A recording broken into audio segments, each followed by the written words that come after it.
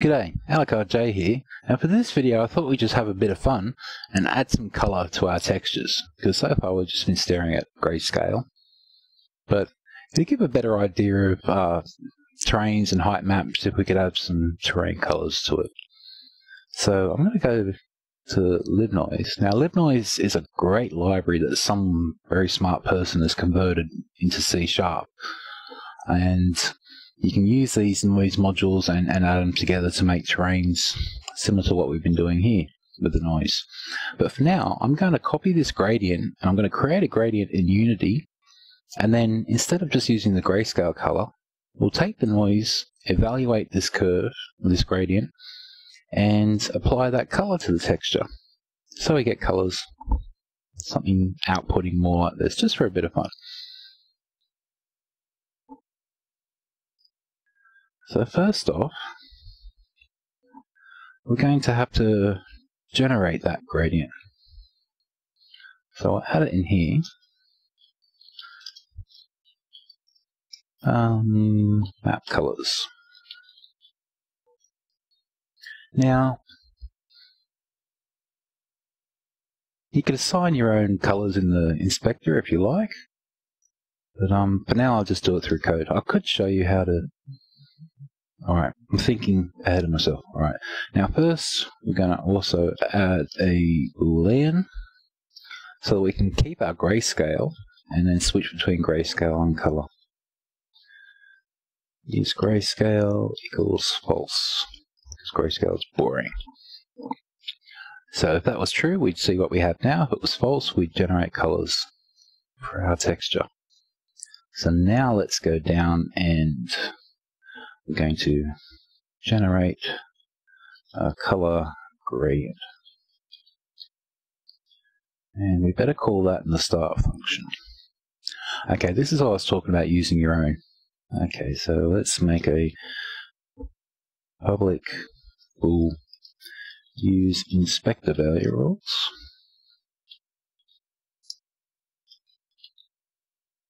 equals false. Now I just added this. If you wanted to assign your own colors in the inspector, you could do that and then set that to true and it wouldn't overwrite the gradient with the one that we're generating. So we'll say if don't use inspector colors, then we'll generate the one we're about to make. Okay. Alright, so I'll show you what I mean there. So now you have this map colors here, and if you played around with these color gradients, you can set your color. So you could make your own colors here. So if you made your own colors there, you'd say use inspector colors, but we're not going to do that. Okay, so back to the noise. I'm going to use all these values to create this gradient. So let's copy this out. And this might take a bit of code, so I don't know if you want to fast forward here. But if you've never played with gradients, you might find this information useful. Okay, so a gradient map colors equals new gradient. So create a new instance of it. Now, the gradient has color keys, and the color keys are set at positions, which are called time. Okay, so here's a color at a position, which is time. Here's a color at a position, which is time. So we have to set our color and also set our time. So gradient color key, which is an array, um, gradient color key equals new gradient color key. And we've got eight values.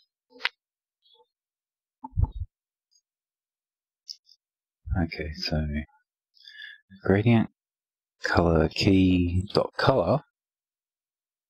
Color oh, color key dot color. Ah let's let's give the index color. Third times the chart equals. Let's um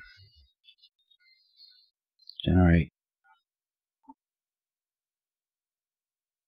Uh, get. Say get. Gradient. Color. It's very similar to the one above, I know. But I'm just going to copy these values into I'm going to call this function and copy these values straight into it so I don't have to do much typing. So I'm going to say int r, int g, int b. And this is returning a color.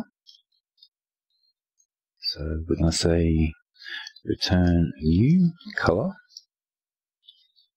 Um, that'll be a float of r divided by 255. So these are values between 0 and 255. That. Same for G, same for B, and we'll leave the alpha alone. Alright, so here we can say get gradient color and copy in these values.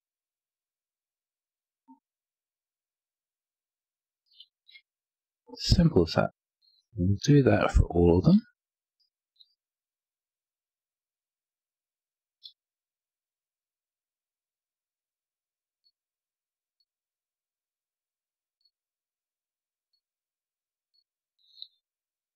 So we got 2.5.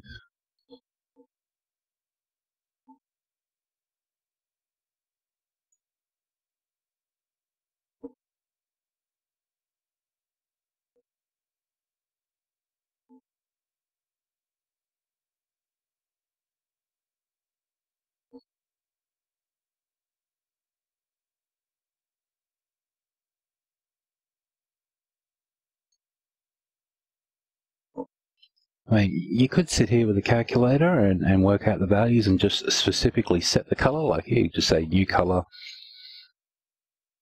or even do this equation up here, but this is so I can just copy and paste it quickly and not doing so much repetition. Okay, so there's the color. We now need the times. So gradient color key at index position dot time equals the same thing. We'll do a float. This will return a float.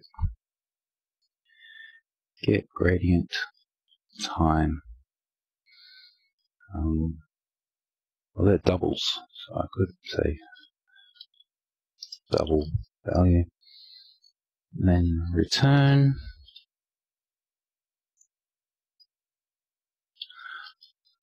Cast as float. Oh, let's try that again. Cast as a float um, the value. Now this is between minus 1 and 1, so we're doing the opposite of what we did with turbulence.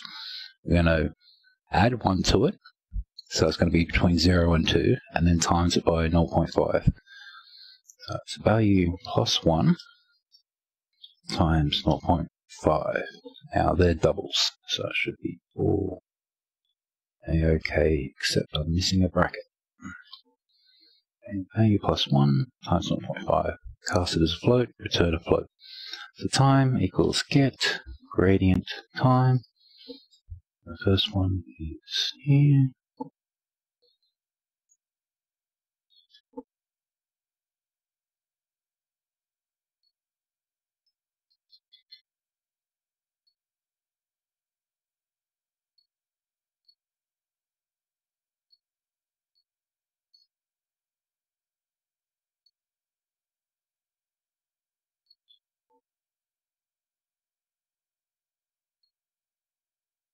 They're all zeros except the last one, which is one.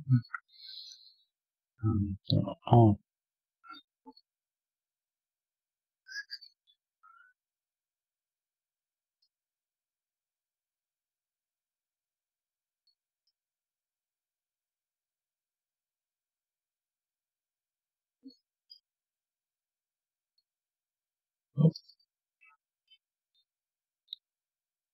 So that's all looking pretty good. Now, the only other thing is, um, as well as these colors and times as keys, we also need to do that for alpha. If we look here, we have for the color and the time, and we also have for the alpha and the time. So we just need to set them both to 1. So gradient alpha key array alpha key equals new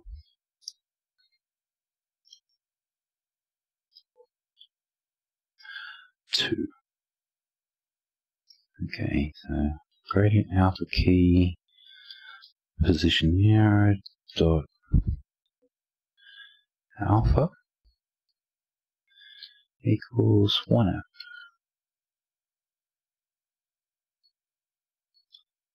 Uh, position 1 is going to be the same, and then we have to do the time. Time, that would be at 0, and the end would be at 1. Okay, so map colors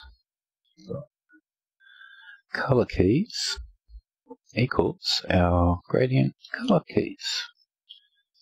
And our map colors. So alpha keys equals with our gradient alpha key.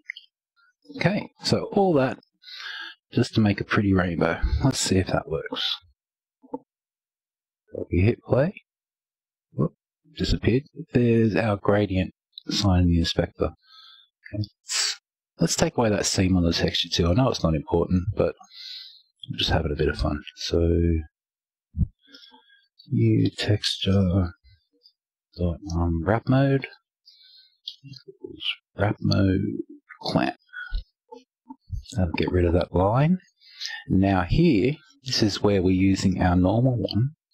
So we can say if use grayscale, we'll do it as we were doing it there. Else, we're now going to get a color going to map color gradient dot evaluate at the position of time, which is our noise value. And that should be it. Let's hit play on that. So, oh, we've already done it because we set use grayscale to false. So let's duplicate that and move them and move those up. And we'll make those grayscale. So there we go. And then what if we go to our fractal noise now we're starting to see something that we could use for generating terrains. This is exciting. What's turbulence output? Hmm. Kind of weird. Exponential. Okay, that's giving a clearer result than the grayscale. See, here you could play around with the sharpness and things and really see how that is affecting our cloud images. Great. So what I'll do is I'll paste in this code and I don't know, I might um, I'll zip up this project and put it in a Dropbox or something. Mm, that'd be quite fun. Uh, I hope you enjoyed like this little series on noise and, and got your brain juices flowing and thinking about ideas. It's like, oh, yeah, we can procedurally generate some terrains and make some noise and, and get some good maps going. Uh, this is stuff I've been playing around with a lot. I actually have a set of terrain tools for texturing the terrain, adding trees, adding grass, all kinds of fun stuff that I'm going to introduce after this. But there is something else I want to cover first. So, in the meantime, uh, let me know what you think. Um, how's this new set of videos going? Is it fun? Is it boring? I'll try to cut the time down, but I love talking. But um, we'll see how it goes. Anyway, I hope you had fun, and I'll catch you soon. Bye.